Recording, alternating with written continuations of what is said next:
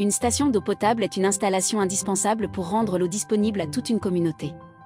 Mais cela demande énormément d'énergie. Ça, vous le savez déjà, car vous œuvrez au quotidien pour son bon fonctionnement.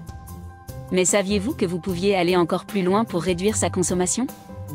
Partons d'un exemple, vous achetez une nouvelle voiture. La consommation annoncée est de 7 litres au 100. Avec le temps, le filtre à air s'encrasse, les pneus se dégonflent et le parallélisme fait défaut. Résultat, la voiture surconsomme pour compenser ses pertes de puissance mécanique. Eh bien, pour une station d'eau potable, c'est pareil. Sur votre pompe, si votre robinetterie et votre tuyauterie ne sont pas parfaitement dimensionnées, cela peut brider votre profil de charge. Votre pompe consomme davantage pour compenser et conserver le débit. Et sur de gros débits, la facture grimpe. Revenons à notre voiture. Si vous utilisez un SUV pour de courts déplacements en centre-ville, votre voiture est probablement surdimensionnée pour vos besoins et consomme plus que nécessaire. Là encore, c'est la même chose pour l'installation de pompage. Lors de son installation, votre pompe est parfaitement calibrée pour un besoin donné. Mais s'il évolue, alors celle-ci peut se retrouver en sur-régime, ou bien souvent, en sous-régime.